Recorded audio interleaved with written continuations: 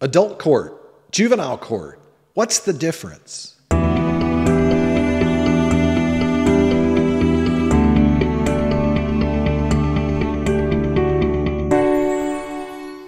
Hi, I'm Jeff Hampton with the Hampton Law Firm. Thank you for joining us on our YouTube channel today. I want to talk to you today about the difference between adult court and juvenile court. What is the difference? How is the standard, particularly under Texas law? If you wait around to the end of this video, I'll also give you a free ebook, What to Do If You Have Been Charged with a Crime in Texas. Okay, let's jump right into this. Now, listen, I'm to first identify adult criminal court. What are the standards in adult court? And then we'll jump into juvenile. Along the way, I'm going to answer some general questions that people ask, and I'm going to make some distinctions between adult court and juvenile court, okay? And most of this is going to be specific to Texas law, and much of it I'm going to talk about examples in the Tarrant County system, which is in the Dallas Fort Worth area. You're talking about in the Tarrant County, Dallas County area of some of examples, some examples that I've dealt with at our law firm, all right?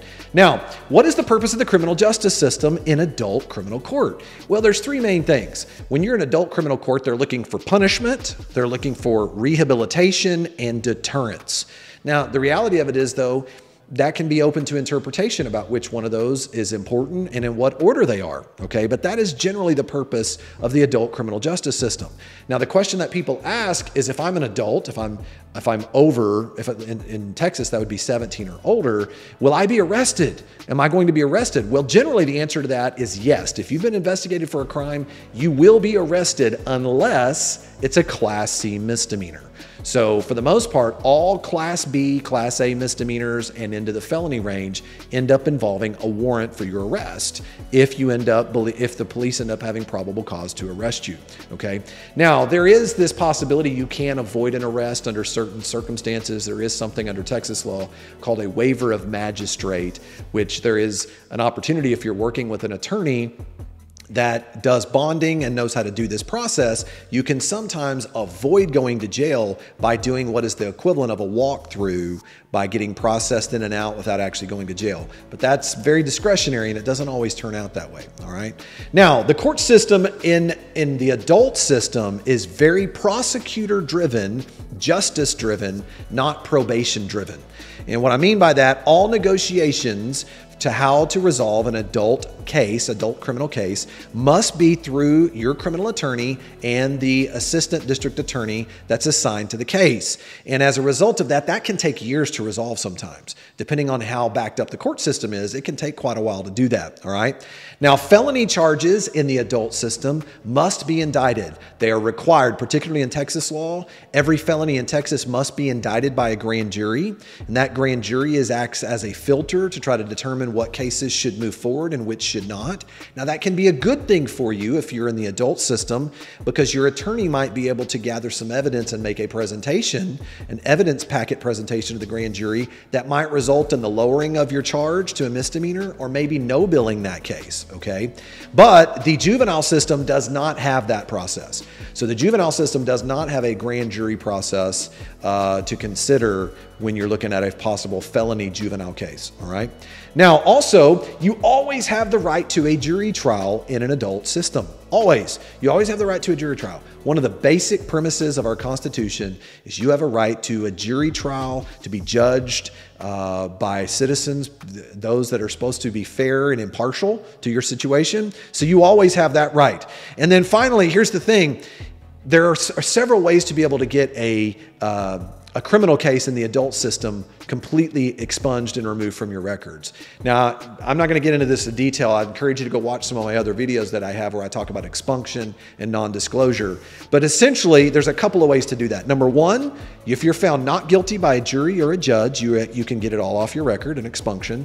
Number two, a dismissal. A case is dismissed, you can get that off your record. Number three, if your case is dropped down to a Class C misdemeanor, that you receive a deferred disposition and you successfully complete it, there you can get an expunction. And then finally, you can always, uh, if you're young enough or you fit into certain criteria, you can also potentially qualify for a diversion program. And upon completion of that diversion program, you can always, uh, you can also be eligible for a possible expunction. Okay.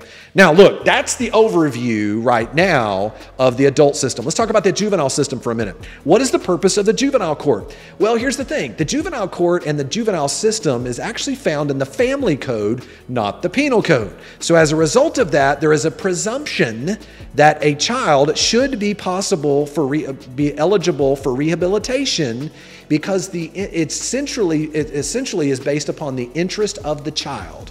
So there is a presumption. It's a child, right? We're talking about a child that's being charged with a crime. They need to be considered for rehabilitation. So the purpose of the juvenile system is not just for punishment, not just based on deterrence. Now, there's elements of that that can come into play, but there is a presumption of rehabilitation in the juvenile code, all right? Now, the next question is Will my child be arrested? Well, it depends. Sometimes it, it, the result of a juvenile investigation can result in not an arrest. There's technically no such thing as an arrest for a juvenile case. It is called a detention. Okay, they will detain someone. But other times you may not actually be detained. Your, your child may receive a letter telling you that you need to show up and do an intake process with a probation officer over at the juvenile uh, at the juvenile center. Okay, so here's the thing: what happens if your child is detained? What should you expect? Well, this is the part that's more unfair for the kids than it is in the adult system. I'm just going to tell you, there's a lot of injustice that takes place in the juvenile system because of this. In the adult court, after you're arrested, you must be seen by a magistrate. Bond conditions must be set, and a bond is set for you, unless you're charged with capital murder or some other extreme example. But that is not the case under juvenile law. Under juvenile law, you do not have the right to a bond. There is no such thing as a bond. So the only thing you have a right to is a detention hearing before a judge. Okay? And here's the thing if the judge doesn't let you out, let the child out on the first detention hearing, then the next detention hearing is 10 days later. Now, your attorney can always potentially speed that up and make that happen sooner, but it's it, you will stay in jail. A child many times will stay in jail longer than an adult will just because of the rules that are in place. And the reality of it is, juvenile law gives broad discretion to the judge. A lot of discretion goes to the judge in this situation, which I'm going to tell you makes it open for being manipulated by the system. And this is the part that we've seen be unfair. For example, we have seen children detained for first time possession of gun charges. Let's say they just had their mom's gun or their dad's gun, or they had, the, and I'm not saying that there are certain instances where you do need to be careful with this sort of thing, but if you have a first time offender, no issues at all. We've had issues that have, have come up in the past where Tarrant County juvenile court judges, they have an unwritten policy that they do not let offenders out if it's a gun charge, no matter what their criminal history is.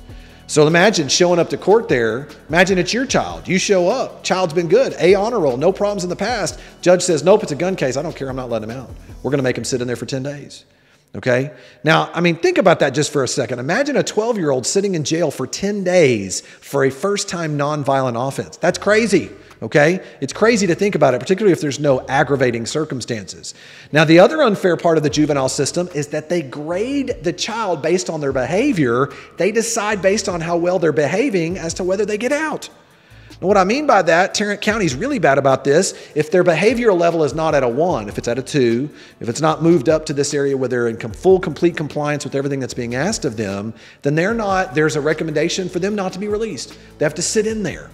So now you're talking about an additional 10 days. So, what if the child needs medication? What if the jail says, no, you don't need that medication? What if the child starts to have some issues with that and they begin to get, become very upset? What if they speak up and they're marked down for talking back? Now you're talking about a kid sitting in there, in there for another 10 days, hoping their behavioral level will get to where it needs to be. These are some of the examples of stuff that will happen, and we've seen it happen personally in the juvenile system. Now, finally, here's the thing Juvenile court is very probation driven. What I mean by that, you are required to meet with a probation officer for intake. Now, the important thing about that is they're going to ask you many questions. If they're trying to make decisions about what's in the best interest of the, interest of the child, they're going to be asking about the home arrangements, school, all of that sort of stuff. You are you need to answer those questions because they're trying to make sure and determine what's in that child's best interest.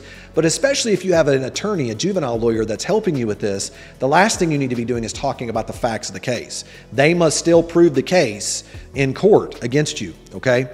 Now, finally, can my child get their detention off their criminal record? Well, that's always the goal when a child's been detained. The goal is always number one, to get them out, and number two, to resolve the case in a way that can get it off their record. For less serious crimes, there's many ways that that can happen. There's diversion programs, there's conditional dismissals, there's many ways that can happen. The weird thing about it is you can get into this gray area where if the case is very serious, very, very serious, and the child is right close to being an adult, sometimes you'll find that they will look to sentence that child as a juvenile, but they'll do something called determinate sentencing, where they want that sentence to carry over into their adult life, where upon completion of their juvenile sentence, the remainder of their sentence they must serve in, uh, in, in literally adult prison. Okay? This is why don't ever assume that just because it's a juvenile case, it's not serious. There are many ramifications that can take place on that. So, listen, I wanted to give you a quick overview on this and let you know what the understanding is. There's a very big difference between the adult system and the juvenile system. I hope this has been some assistance to you. I promised you an ebook if you waited around to the end of this video, what to do if you've been charged with a crime in Texas. All you got to do is click through down to the bottom of the link in the YouTube section here that you see. I'll be happy to send that over to you. And I want to thank you for joining us here today. I hope you liked this video. If so, please like it, subscribe to our channel. We'll send you over more great content just like this. We'll see you next time.